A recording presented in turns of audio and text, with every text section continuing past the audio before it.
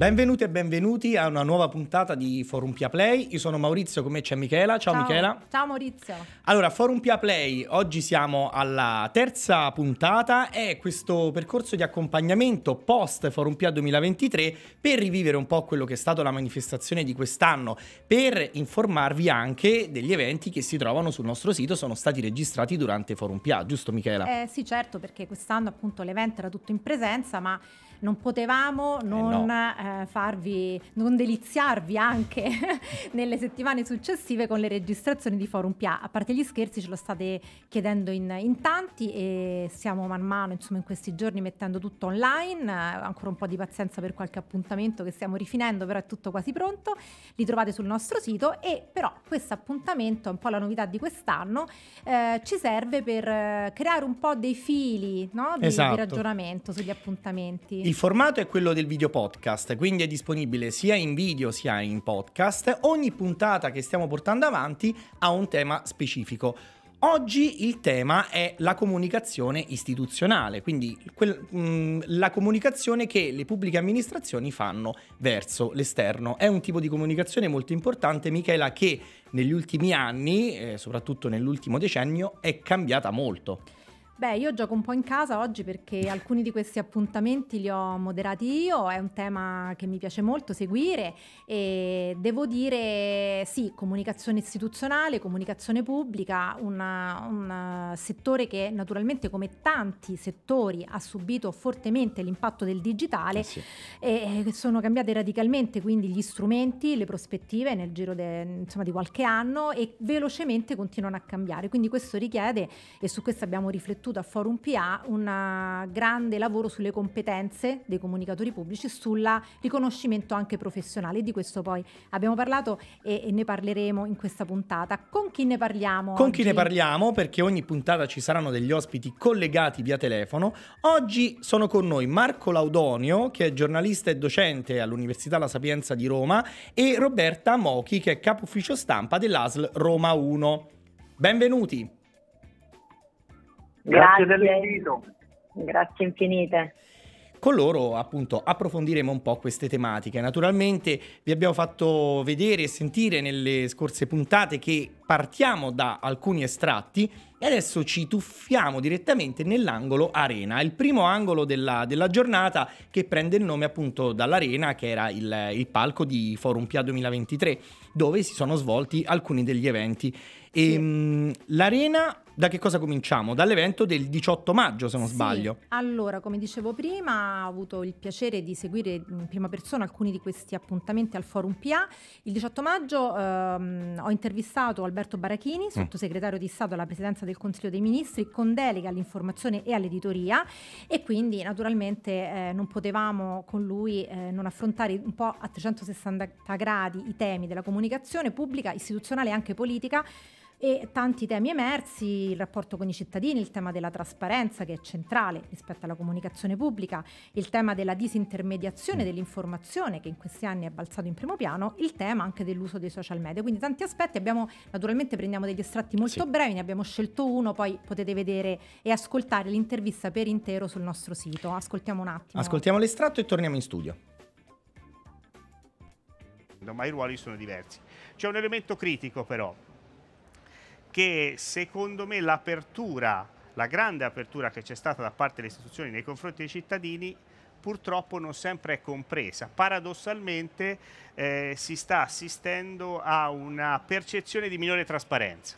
Mentre le istituzioni si aprono al cittadino, il cittadino ha a volte la percezione che eh, non riceve tutto il messaggio eh, io credo che ci sia una responsabilità anche de- di tutte le, le filiere della comunicazione perché o- chiaramente c'è una responsabilità condivisa fra chi comunica e chi riceve la comunicazione, ma i ruoli decisionali sono diversi. Ovviamente il cittadino deve comprendere che la politica o le istituzioni hanno il diritto e il dovere di fare scelte e il cittadino ha il diritto e il dovere di valutarle, magari dando il tempo alle istituzioni e alla politica di fare quelle scelte e poi di valutarle in un medio periodo. Non- Quindi Michela, qui il sottosegretario cita un po' questo, questo paradosso, cioè più la pubblica amministrazione si apre, più viene, viene vista come non trasparente. Come, come funziona un po'? Beh, allora diciamo, adesso chiediamo un commento ai nostri ospiti. Più che altro sottolineava che spesso questo grande sforzo non è riconosciuto allo stesso Mm, livello, mm, mm. quindi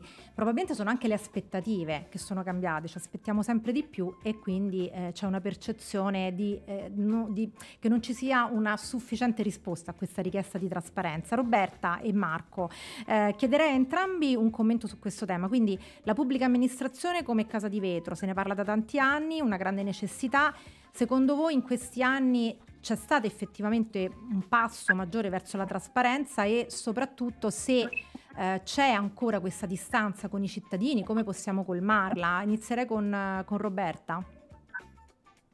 Eh, grazie Michela. Sì, effettivamente eh, da quando abbiamo iniziato a utilizzare diciamo, la comunicazione digitale la distanza è molto diminuita rispetto insomma, al collegamento che abbiamo con i cittadini e soprattutto siamo diventati più trasparenti, ma quello che è cambiato è quello che giustamente dicevi tu, cioè le aspettative delle persone sono cambiate e sono aumentate perché le persone si sono abituate ad avere risposte real time e pretendono la stessa tipologia di risposta anche dalla pubblica amministrazione che però non è un, istituto di vendita che può rispondere dando pareri su un prodotto, ma è un'amministrazione che fa servizi alle persone, quindi ha bisogno di un pochino più di tempo nella risposta. È chiaro che eh, colmarla è, è il nostro desiderata maggiore perché eh, è proprio quello che stiamo tentando di fare, cioè di appoggiarci alla tecnologia per riuscire a rispondere, non dico real time, ma nel minor tempo possibile alle richieste dei cittadini. E professor Laudonio, un, un suo commento su questo? Sì, eh, innanzitutto bisogna immaginare le pubbliche amministrazioni. Parliamo al plurale.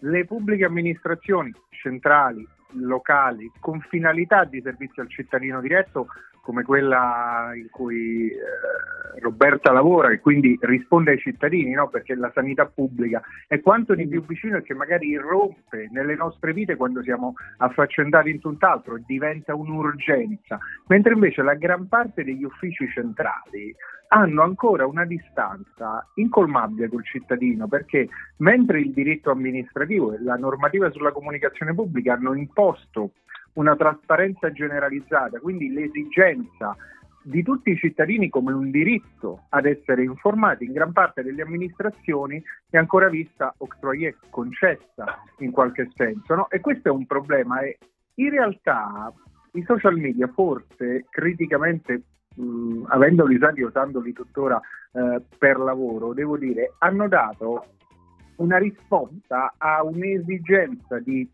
eh, manifestazione di trasparenza da parte dell'emittente, della pubblica amministrazione o del decisore politico-amministrativo, che non è la stessa richiesta di servizio che può arrivare dai cittadini. Spesso la casa di vetro, ahimè, è una vetrina in cui io faccio vedere una serie di cose, ma se ci sono una serie di problemi, tendo a dare risposte al singolo.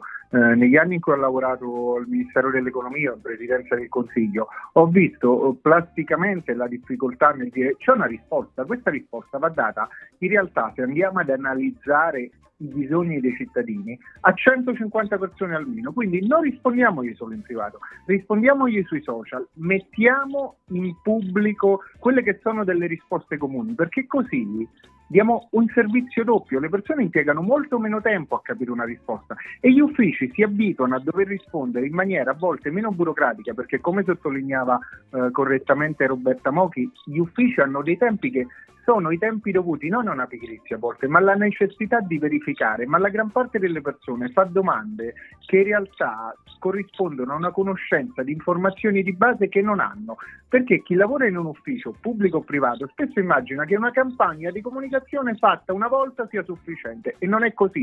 In realtà anche i concetti più semplici andrebbero messi ad alta rotazione, come fanno i video, le canzoni Certo. su Spotify o alcuni post nei feed dei social network dove se noi andiamo in organico ci vede magari un centesimo della nostra base, no? Certo. E questo tendiamo a dimenticarlo. E invece sarebbe essenziale rispondere, rispondere, rispondere e avere sempre a mente che tanto non sarà mai sufficiente. Mancherà sempre qualcosa perché è difficile entrare nei meccanismi di comprensione dei singoli. Certo, possiamo dire su questo anche che probabilmente le competenze possono aumentare sia dal lato della pubblica amministrazione delle persone che ci lavorano, però magari in un futuro anche da parte dello stesso eh, cittadino che può imparare anche a cercare le informazioni che gli servono all'interno del mondo della comunicazione istituzionale della PA. Certo, beh, il tema delle competenze è centrale in, in senso bidirezionale. Eh, certo. Quando parliamo di digitale, competenze digitali eh, di, di, chi lavora nella pubblica amministrazione, ma anche di chi riceve eh, i servizi, chi usufruisce dei servizi, quindi i cittadini, le imprese. Sappiamo che è un, grande problema ancora per l'Italia, siamo, non siamo mai tra i primi negli indici internazionali, il famoso DESI, super citato, ma insomma viene sempre bene e quindi anche di questo di competenza abbiamo parlato al Forum PIA, in particolare abbiamo, c'è stato un talk. Eh, quindi entriamo nell'angolo talk. Entriamo nell'angolo talk, usciamo dall'arena, ci spostiamo di sala, andiamo eh, diciamo virtualmente nella sala talk dove tra l'altro proprio Roberta, anche è stata nostra ospite, Roberta Moghi, questo talk è dedicato proprio alla figura del comunicatore pubblico, e, mh, parlando anche della normativa che regolamenta la professione, della necessità di rivederla, di riformarla. Sentiamo, da qui abbiamo estratto tratto due brevi spezzoni, ascoltiamo il primo, Sergio Talamo, direttore comunicazione istituzionale e relazioni con l'EPA del Forum SPA. Eh, perché sento pure qualcuno che dice noi ci lavoriamo da anni, beh per arrivare alla 150 ci vogliono più di 15 anni, eh, la legge, i primi dibattiti sulla sulla, sugli uffici stampa eh, risalgono a metà degli anni Ottanta, eh, quando esistevano come esattamente adesso gli uffici digitali in forma non riconosciuta, eh, nel, nel, 1993 si parlò per la prima volta di URP, insomma non rifaccio la storia ma diciamo che è una storia legislativa e politica molto più lunga del nostro impegno, quindi io sono molto fiducioso, però attualmente questa rimozione c'è ed è una rimozione paradossale, io vi cito soltanto tre campi in cui già in questi giorni è stata sottolineata la necessità impellente di cambiare passo. Se noi parliamo di emergenze naturali come quella che purtroppo in questo momento interessa tante persone in Emilia Romagna e che comunque purtroppo fa parte ormai della nostra quotidianità, noi abbiamo bisogno di informazioni pubbliche, verificate, semplici e autorevoli. Non, non fanno altro attualmente... E questo che cita Talamo è un altro esempio di comunicazione di cui parliamo eh, tra pochissimo. Ci ascoltiamo Michela se sei d'accordo anche l'altro estratto sì, certo. subito eh, dopo. Francesco Di Costanzo, presidente di PA Social e Fondazione Italia Digitale. Ci ascoltiamo quest'altro estratto e poi li commentiamo in studio insieme. Non abbiamo sfruttato quel momento per incardinare la riforma della legge 150, cioè la famosa 151 perché devo dire la verità non so cosa debba succedere più di una pandemia mondiale, di una guerra molto digitale, emergenze ce n'erano già tante anche prima, per far capire che una cosa, ripeto, di una banalità assoluta, cioè che chi oggi è esperto in comunicazione e informazione digitale deve avere un riconoscimento nell'ordinamento italiano. Riconoscimento si intende economico, di ruolo, di responsabilità, di lavoro quotidiano. Eh, se non lo so, io, eh, non mi viene in mente nulla di quello che può succedere, spero nulla spero perché, più perché di questo, più di così. Eh. Quindi certo. questo è il meno e chiudo dicendo che secondo me dobbiamo trovare il modo anche con la nuova legge, noi ci abbiamo messo un passettino del nostro creando quindi Michela, come dicevamo, comunicazione istituzionale vuol dire anche comunicazione in fasi di emergenza o comunque anche non solo informazioni ai cittadini, informazioni pratiche, sì. anche altri tipi di informazioni. Beh, certo, eh, sia appunto Sergio Talamo che Francesco Di Costanza hanno portato segno, l'esempio della comunicazione in emergenza eh sì. e su questo chiederei un commento proprio a Roberta Mochi perché, eh, perché naturalmente eh, la sanità è stata in prima mm, linea in questi certo. anni nella comunicazione in emergenza e lo è spesso Roberta, però vorrei, volevo in particolare chiederti, chiederti, questo. Allora, di comunicazione pubblica si parla appunto spesso quando ci sono situazioni di emergenza, poi magari ci, se, ci dimentichiamo no, nel, nel, quotidiano quanto è importante per noi. Ehm, parlare però di questa riforma della legge 150 non è un tema per addetti ai lavori, cioè, spieghiamo un po' magari a chi eh, non è un comunicatore di professione perché per i comunicatori pubblici è così importante questo ragionamento sulla riforma della normativa. Allora, sicuramente è importante perché senza una, una, riforma, la 150 ormai insomma, ha 23 anni, quindi eh, ha cristallizzato diciamo, un periodo di tempo e, e, mentre il mondo è andato avanti, la società è andata avanti e la comunicazione stessa è cambiata, senza una eh, un adeguamento a quella che è la nuova società e quindi anche a tutto il mondo del digitale è molto difficile far comprendere ai cittadini cose che a noi comunicatori pubblici sembrano banali e che invece al cittadino non arrivano mai. Marco Laudonio aveva ragione a dire che la, eh, la ripetizione della stessa informazione non solo è utile ma è indispensabile perché il cittadino spesso è distratto, ma noi stessi quando siamo nella veste di persone magari ci perdiamo delle informazioni. Quando parliamo di servizi essenziali come quelli eh, di salute pubblica o come quelli di reazione a un'emergenza, che può essere appunto anche un'emergenza naturale, eh, è fondamentale far comprendere ai cittadini come direzionarsi e perché ci serve questa riforma. Perché non tutti quelli che lavorano negli uffici di comunicazione pubblica sono adeguatamente formati al digitale, quindi ci devono essere delle persone che sono in grado di utilizzare lo strumento e di utilizzare soprattutto un linguaggio che è un linguaggio molto diverso da quello della comunicazione istituzionale alla quale eravamo abituati. Eh, noi soprattutto che facciamo una, un giornalismo scientifico, diamo informazioni comunque di carattere medico, dobbiamo svolgere tutta una eh, difficile opera di traduzione per mantenere autorevolezza ma essere al contempo orizzontali nei confronti dei cittadini, quindi essere compresi, che per noi è fondamentale perché far capire a un cittadino come si accede a un servizio magari di prevenzione eh, ci aiuta a migliorare non solo il suo stile di vita, a migliorare insomma, la sua vita nel quotidiano, ma ci aiuta soprattutto poi a gestire magari quelle cronicità che nel tempo arriveranno. Ricordiamoci che facciamo servizi alla persona dai zero a, a, fino al fine vita, quindi per noi è fondamentale accompagnarli sempre, ma soprattutto dargli gli strumenti per aiutarsi da soli e quindi aiutarsi vuol dire anche entrare in contatto con i servizi nel modo giusto, fare domande appropriate e questo è un servizio che dobbiamo dare noi. Certo. Se non siamo adeguatamente formati, se la pubblica amministrazione non riconosce il valore di questi comunicatori e quindi non gli dà lo spazio di manovra, come pensiamo noi di poter istruire, educare e svolgere una funzione didattica nei confronti dei cittadini?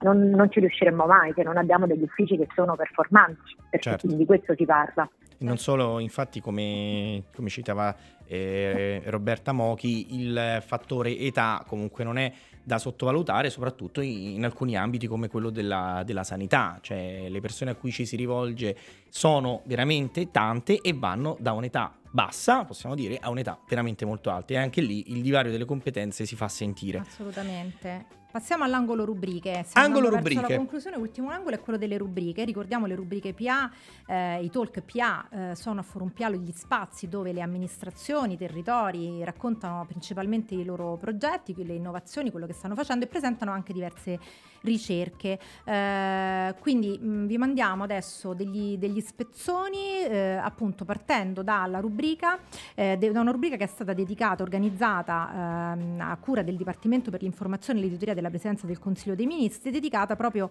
ad una ricerca condotta insieme ad Ipsos ehm, per eh, valutare proprio la percezione dei cittadini rispetto alla, alla comunicazione pubblica. Quindi sentiamo, sentiamo un breve stato da questa prima rubrica.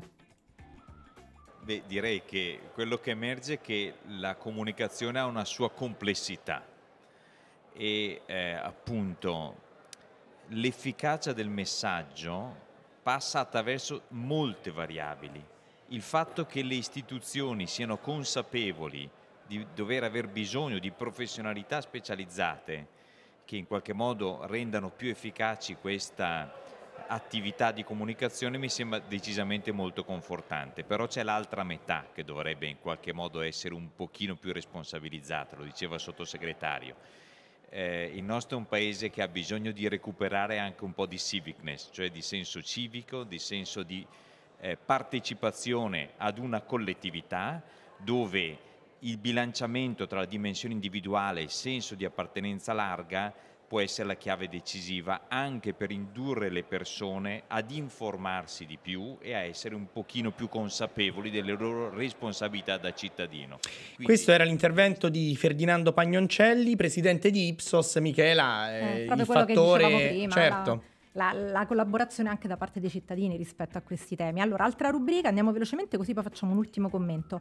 Eh, altra rubrica, questa invece realizzata in collaborazione con Istat sul tema della comunicazione statistica fondamentalmente, perché naturalmente chi meglio di Istat su questi temi e abbiamo Giulia Mottura, dirigente del servizio comunicazione, eventi e social media proprio della Direzione Centrale per la Comunicazione e Sviluppo dell'Informazione Statistica in Istat. E inoltre questo rapporto di fiducia che l'Istat eh, tiene vivo eh, sia per coinvolgere i rispondenti ma anche per rafforzare la fiducia nell'informazione statistica ufficiale è, molto, ehm, è importante soprattutto in questa fase storica in cui sta cambiando il processo di produzione statistica. L'Istat, eh, come, come eh, tutti gli altri eh, istituti nazionali di statistica a livello internazionale, sta utilizzando, sta avviando, integrando fonti nuove, big data, quindi questo va spiegato, va ehm, fatto comprendere al pubblico in modo trasparente garantendo eh, qualità, privacy e tutto ciò, che, eh, diciamo, tutto ciò che il pubblico deve conoscere. Anche in questa fase, dicevo, la eh, costruzione della fiducia passa soprattutto attraverso le attività e i canali di comunicazione dell'Istat. Ecco, e anche questo, questo, estratto ci fa capire come la comunicazione non debba essere uno strumento monodirezionale, ma bidirezionale, che ha bisogno anche dell'aiuto, possiamo dire, del, mm, della comunità che deve fruire certo. di questa certo. comunicazione. Competenze, fiducia, qualità, insomma, tutti temi fondamentali. Ultimo estratto di oggi, così poi lo commentiamo con i nostri ospiti, di Alberto Marinelli, direttore del Dipartimento di Comunicazione e Ricerca Sociale dell'Università La Sapienza di Roma Ascoltiamo questo breve estratto e poi commentiamo insieme questi brevi video che abbiamo ascoltato. Ve lo ricordo rapidamente, il web 1.0, cioè portiamo tutto sulla rete, il web 2.0, cominciamo a preoccuparci dei servizi e cominciamo a preoccuparci di quello che le persone ci dicono, la dimensione partecipativa, la declinazione multicanale, no? miglioriamo l'efficienza dei servizi, cerchiamo di trovare i punti di contatto più efficaci, più agevoli, più performanti dal punto di vista di quello che dobbiamo fare, ci apriamo a nuovi scenari di comunicazione. L'avvento dei social network, quello che apparentemente sembrava non riguardare la pubblica amministrazione, invece abbiamo scoperto che è un'opzione assolutamente strategica, non solo per informare coinvolgere, sono i primi canali per andare direttamente al cittadino, ma anche per ascoltare, per capire, per monitorare, per partecipare. E anche qui appunto questo modo di partecipare sempre bidirezionale, cioè i social non sono solamente un modo per comunicare ma anche per ascoltare il pubblico. Sì, allora quest'ultimo estratto era, è stato preso da una rubrica che eh, era dedicata proprio a presentare una ricerca curata dall'Università eh, Sapienza di Roma eh, sul tema del, degli URP, come sono cambiati gli URP insomma, in questi Beh, sì. tanti anni in cui eh, sono stati in attività e quindi su questo chi meglio del professor Marco Laudonio al quale chiediamo proprio un commento su eh, che cosa è emerso sinteticamente da questa ricerca. Fondamentalmente gli URP stanno cambiando volto e quali sono i principali fenomeni di innovazione che li stanno interessando.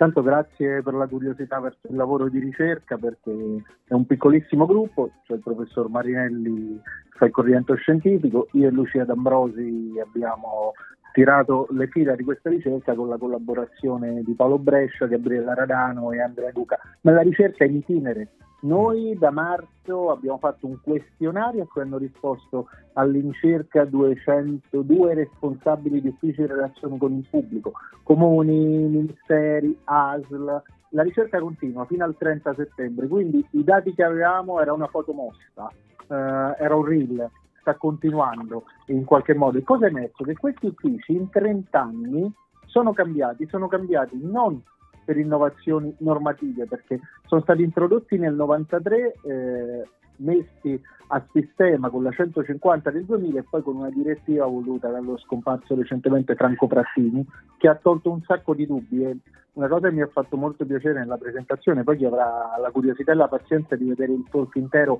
se ne renderà conto, è che Roberto Garofoli, presidente sezione del Consiglio di Stato, già sottosegretario alla presidenza con Draghi, magistrato amministrativo, ci ha riconosciuto la bontà dell'aver voluto fare una ricerca sull'attuazione dopo 30 anni, perché noi abbiamo l'abitudine come paese di non misurare dopo gli effetti annunci gli effetti veri delle riforme. Gli URP hanno portato la comunicazione dentro la pubblica amministrazione prima ancora di una regolarizzazione degli uffici stampa e sono uffici tra i pochi credo che almeno per i nostri rispondenti il 70% di chi li dirige è una donna e mm. quindi sono degli uffici in cui il gender balance è più che rappresentato, finalmente lasciatemi dire. E però sono degli uffici che stanno cambiando, abbiamo fatto una tassonomia, quindi una classificazione rispetto al grado di innovazione sul digitale, perché quello che riteniamo è che la pandemia ha avuto un effetto di spinta sul digitale irreversibile. E quindi cosa succede? Eh, c'è almeno un 44% di chi ci ha già risposto che sono uffici che usano i canali social, la newsletter, si sono organizzati, fanno tutto quello che prescrive la legge, sono i minimal. Un 36% che utilizza sistemi tecnologici per il monitoraggio dei canali social, il che vuol dire che non c'è l'occhio umano e basta, che può avere una disattenzione, un altro impegno e magari a qualcuno non si risponde per giorni, no? Certo. Ma ci sono dei sistemi e questi sono i listener, quelli che si mettono in ascolto.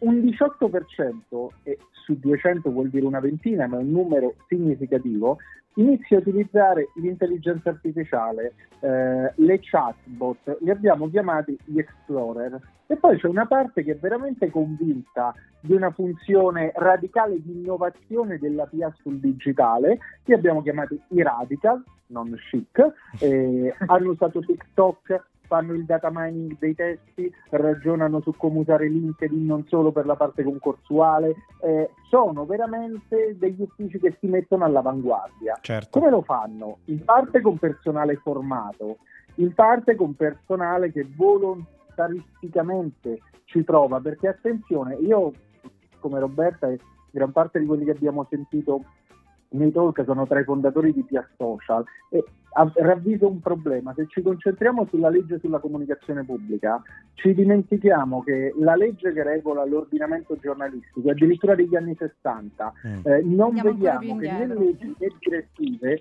prevedono sulla protezione civile una funzione di comunicazione, i poteri straordinari che vengono assegnati nelle situazioni commissariali o con le ordinanze di protezione civile, eh, ad esempio non prevedono mai la possibilità di riservare una parte di canali radio di trasmissioni sulle varie piattaforme alla comunicazione di servizi in questo senso. La normativa sul pubblico impiego non si preoccupa di recepire il fatto che dalla 150 almeno c'è una parte di funzioni della PA e quindi il primo dato che magari dovremmo chiedere tutti è di fare standardizzati come per la magistratura e per altre funzioni i concorsi per la comunicazione certo. pubblica certo. che si possono fare a legislatura invariata, l'abbiamo visto col PNRR, no? eppure non c'è questa attenzione. E poi posso dire che appunto anche questo fatto del, del lavoro volontario, nel senso... comunicazione archipelago, lasciatemi dire, no? ovvero sia eh, ogni bella esperienza rischia di essere una buona prassi isola, certo. invece dobbiamo essere un arcipelago di competenze e di esperienze mettere a in sistema, cui magari guardare al privato. Mettere a sistema, come diciamo spesso. Stavo Grazie. per dire, appunto, non, non, cioè non, è possibile che ci sono delle, delle, realtà in cui funzionano bene perché ci sono delle persone che ci si,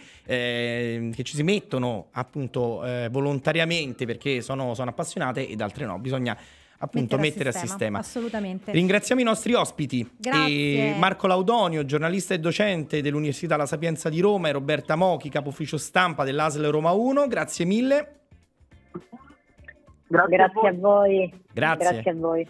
E noi ci sentiamo alla prossima puntata di Forum Pia Play. Assolutamente, tutti i giorni alle ore 11 sulla homepage di forumpia.it eh, una mezz'oretta insieme per approfondire questi temi e poi sul sito. Sul sito trovate sia le puntate di Forum Pia Play ma soprattutto anche tutti i video che vi stiamo proponendo in versione integrale del, degli eventi che si sono tenuti a Forum Pia 2023. Quindi mi raccomando andate lì, spucci- eh, mm, spulciate un po' il sito e cercate quelli che più vi interessano. E troverete quello che vi, che vi interessa di più. Grazie Michela, alla Grazie. prossima puntata.